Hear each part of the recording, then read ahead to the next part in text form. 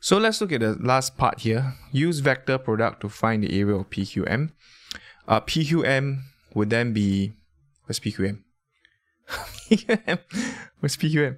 Okay, we have M, we have PQ and M. Okay, okay, I, I got Q, I got M. Okay, I think it's a pretty okay question here. It's not like, because we have all the position vector of PQM, same thing, try not to visualize from this cuboid, it's going to be very confusing. What you actually need uh, are just the three points. So I'm just going to list down the three points out. So here, I what I need is three points PQM. So I have M, uh, I've got Q and M. So uh, M is half something. Let me check.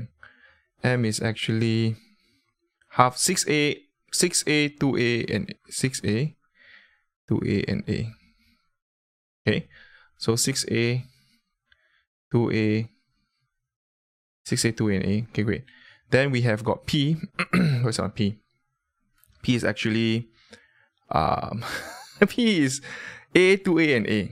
So A, A, 2A, and A. Okay. A, 2A, and A then after which we got um, P, PQM. So I need Q. Q is 3A, uh, 003A. So Q is actually just 003A here. Am I right? Uh, no, I'm not. My uh, A over 3. Okay, A over 3. Okay, great.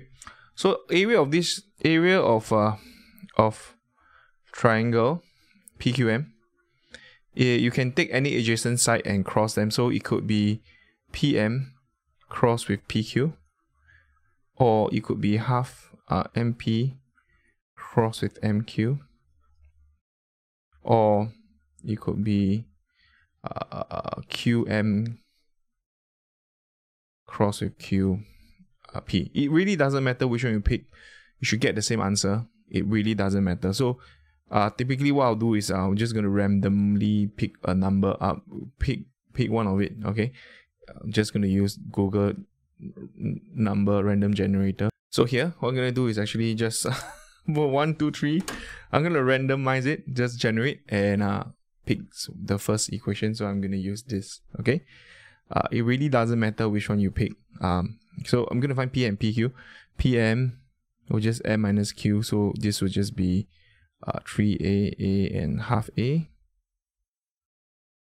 minus a to a. That will give us um, 2a minus a and minus half a, which we already found just now, I believe. Then uh, we have got pq. pq would be pq would be um, q minus p is minus a minus 2a and minus 2 third a. Okay, so the area, area of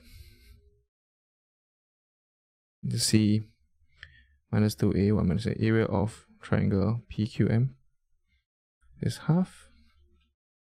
PM, so it's a 2a minus a minus half a cross with minus a minus a minus 2 third a you can actually just take the positive side, uh, even though it's very unsightly, right? So you can actually just change all this to positive.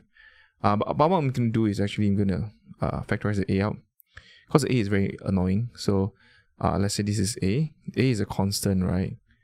So there you go. And this will just be a as well. This is a a. It is minus 1, minus 2, minus 2 third. Okay, as such. So this a and this a are constant, so you can just bring it out. So this is a square over 2. Ultimately, what is minus 1 minus half? Cross with minus 1 minus 2 minus 2 third. Okay, there you go. So you're just going to perform um, a cross product here. So we're just going to perform it. And what we'll get here is actually just a square uh, just be careful. This is minus 1 over 3. And the subsequent one will be 11 over 6. And the last one will be negative 5. Okay, always check before you move on so like uh, so i i am going to just yeah. So there you go. So this case here is a square over 2 you just need to double check. Okay cross product is uh pain. It's really a pain. So keying calculator this is uh, 1 over 9 1 over 9 plus 11 over 6 square plus 25 that will be